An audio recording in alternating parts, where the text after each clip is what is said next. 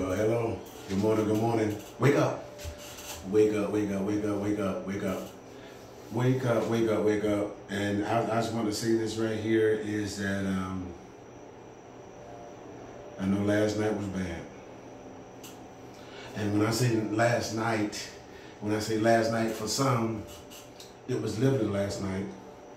But for, but for, but for others, others, the test that you've been in, it's been nighttime. It's been nighttime for a long time. It's like everything, everything, um, everything that is connected to you, there's some darkness with it. There's some negativity with it. There's some suffering with it. There's some hurt with it. Something, there's something with it. There's something with it. And um, I just want to encourage you keep fighting, keep pressing, keep digging, keep reaching, keep keep crying out, keep letting God know. Keep letting God know where you are. Keep letting God know how you feel. Keep keep letting Him know, because because because uh, uh, see, your nighttime actually your nighttime is is is your your your cultivation. Your nighttime is where your growth is at. Your nighttime is is when when God is really working. See, because when, when, when in you in your nighttime, that's when God can reveal His light. When you're in your nighttime, that's when God can expose some stuff. That's when God can reveal some stuff to you. And so, and, and so, what God is doing, God is, God is, uh, God is allowing, God is allowing, uh, and so that's why it seems like things have slowed down. God is allowing time. God is allowing time, your understanding, uh, uh, the understanding, the, the, the appreciation. That's what it is. Some of you, one of the reasons why God hadn't moved yet, because there's, certain, there's, a, there's a certain amount of appreciation, uh, appreciation that He wants uh, you to have. And so until until you get to a place where you are appreciative uh, and get to a place where you're ready to receive what He has for you, see, because right now, if you get it, you, you, you won't you won't be ready to handle it. You can't handle it right now. You need some time. You need some time. You need some time. You need some time. And see, and see, you think you're ready. You think you're ready, but you're not. See, God blocks us. Oftentimes, God blocks us from, from things that we try to, doors that we try to kick down. We want it so bad. I want it. I want it. I want it. And, and when God say no, then you get mad at God. Then you pout. Then you pout. And, and so, so, so now what God gonna do about that? That's on you. You pout all you want to, but God is gonna still be God. After you get through power, God gonna still be waiting, and He gonna still want you to do what He called you to do. yeah, you can pout all you want to. So what? You can't play no. You can't play no mind games on God. You can't play no uh, no games with tricks with God. You can't. You can't. You can't treat God. so, um, but but but this is what I want to say. This is what I want to say. Weeping may endure for a night. You need to understand that weeping, you're weeping, you're crying, all that, it, it do it for a night. It do only do it for a night. And I think that scripture is um, Psalms 30 and 5. And so you need to know that God's mercy, God, God anger is but for a moment. But his love and his mercy is everlasting for a lifetime. And so so you need to know that your weeping, it may it may have endured, you might have been crying a lot. You might, might have been crying in the morning. A lot of times in the morning, you cry a lot when you misunderstood a lot. Because, see, because you ask for wisdom. And when you ask for wisdom, you ask for rejection. You ask for um, people to uh, punish you, people to torment you because of what they don't know, or just it's just it is what it is. Solomon said, and, and wisdom is with sorrow. You're gonna be let down a lot. You're to be disappointed or not. You're to be hurt a lot. See, but in that, you got to pick up the pieces. See, that's where your development that's where your growth is at, is when the trouble happened. When the disappointment happened. When the hurt happened. When the abandonment happened. When the molestation happened. When all of that happens, that's, this is where the growth comes in at. Because the growth comes in that when God can uh, put the piece together, is when everything in our lives and your life has been scattered and messed up when everything in, our lives and your life has been scattered and messed up, then this is a that's a great opportunity that God can come in and fix it. He can fix it. He can fix it. And see, see what the thing that you need to realize and understand about God, He's a gentleman. God is a gentleman. And see, God ain't gonna force himself. He ain't gonna force himself on you.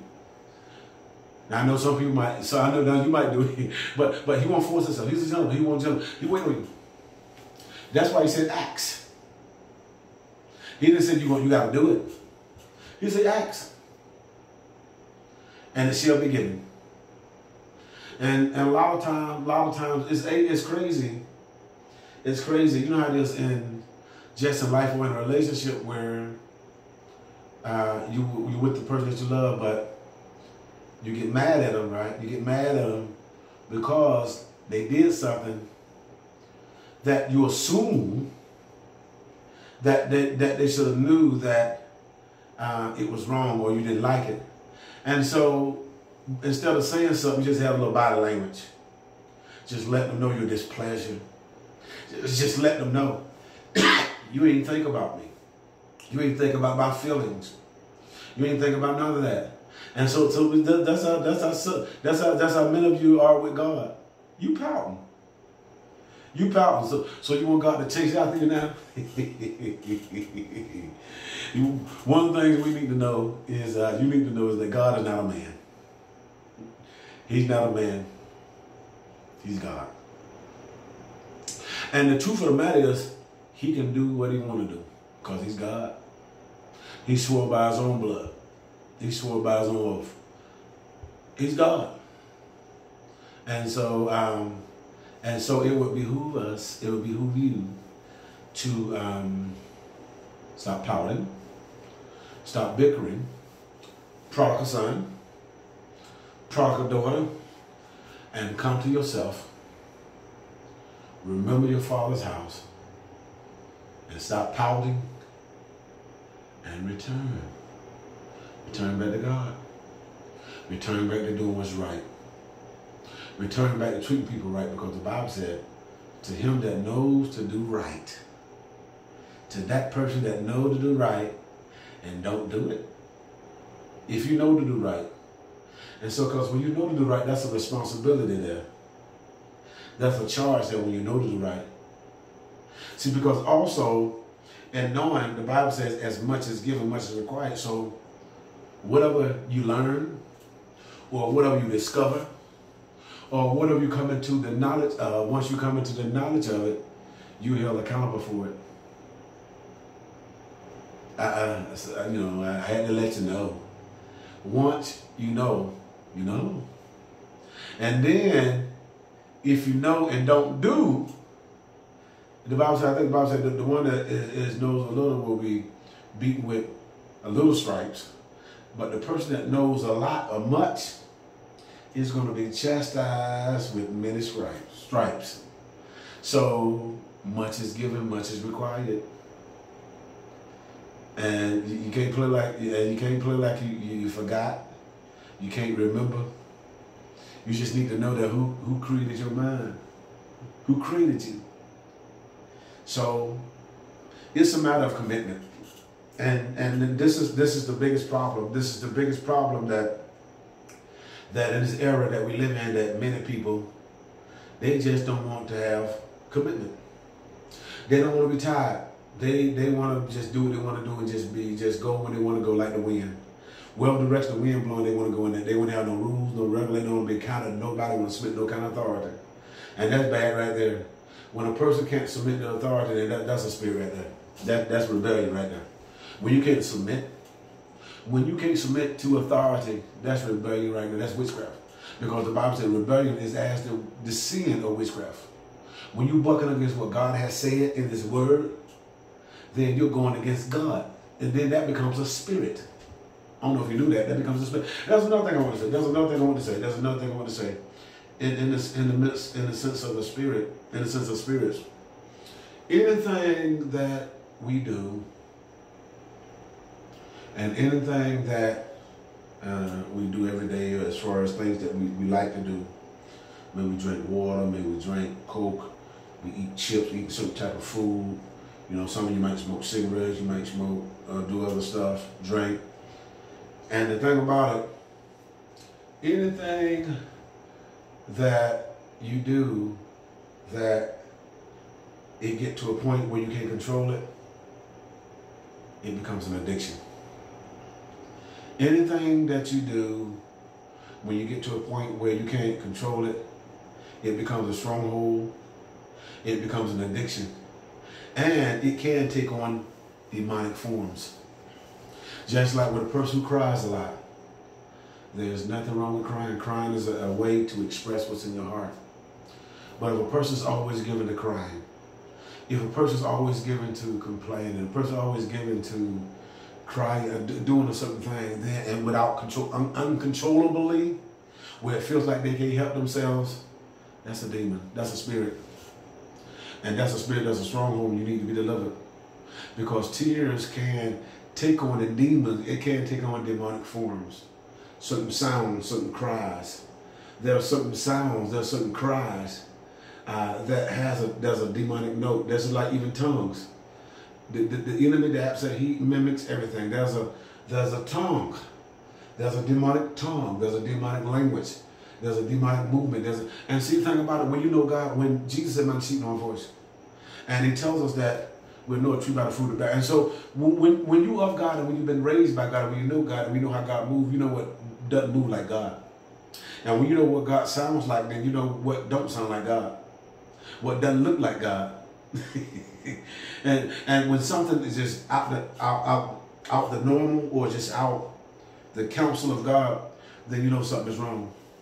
So uh, just know that don't let nothing control you. Because when something controls you, then it take it takes control of you.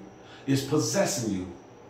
If your emotions are controlling you, when you if you feel like you can't control your emotions, your emotions are possessing you when you feel like there's something that's happening and something take place, when you feel like you got to respond, your emotion just goes off the, the, the, the, the hammer. It goes off the uh, it goes off the scene. It goes off the it, it goes off the it goes off the um, it just goes off the rail. Uncontrollable. Something's wrong with that. Something is wrong is that if you can't hold your peace.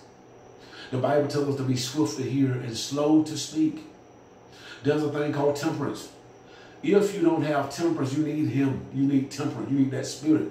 Because self-control, the Bible said, a person who's able to control their spirit is stronger than the mighty, mighty man in the city. And if you can't control your spirit, if you can't control your emotions when every time something happens and your emotions become a victim and you find yourself uh, be, be, becoming prey to that thing because of your emotions, then you're weak. You are emotionally weak and you need to be delivered. You need God to strengthen you. As a matter of fact, I'm going to pray that God strengthen you, and even in your emotion. See, some of you, God need to mature you. Mature your emotions. Your emotions are too immature. Just so you just, just, just fly off the handle at everything without thinking. Stop flying off the handle without thinking. Stop, stop it, stop it, stop it. At some point, at some point, the next time, just, just, just catch it. Catch it. And just stop going off the handle because you know what? You're not, you're not glorifying God. You're not edifying God. You're not at all. You're just blowing smoke. It's not the will of God. It's not the will of God to keep complaining. To keep to keep complaining and, and murmuring actually is against the will of God. And murmuring and complaining is the very thing that cut the, many of them out of God's kingdom, his promised land, killed them. And so and so complaining, God don't want to hear your complaints. God want to hear, God want to hear, do you want to be made whole? He want to hear you cry, but he to hear you complain. He want to hear what's in your heart, not what's in your frustration. He want to hear your heart, not your complaint. And so God bless you and good morning.